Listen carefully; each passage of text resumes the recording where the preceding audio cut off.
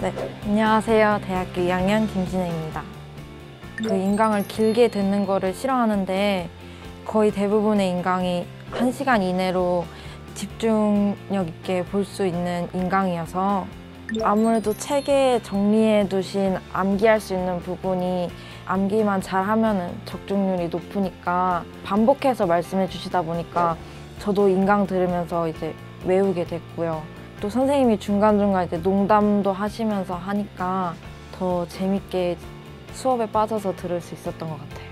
어, 관계대명사 부분하고 관계대명사 후수 나오, 나왔고 그 다음에 전치사 부분도 나왔고 자동사 전치사 부분 많이 나왔던 것 같아요.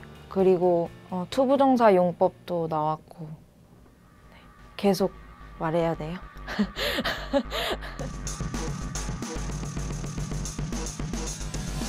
제기라고 하는 건 여러분이 절 뒤에 들어간다는 거를 이번 시험 대비로는 제기대명사 정도 급이 나오지 않을까 이렇게 생각을 해봅니다. 동사 ing라 정답이 아니고 전치사라도 정답.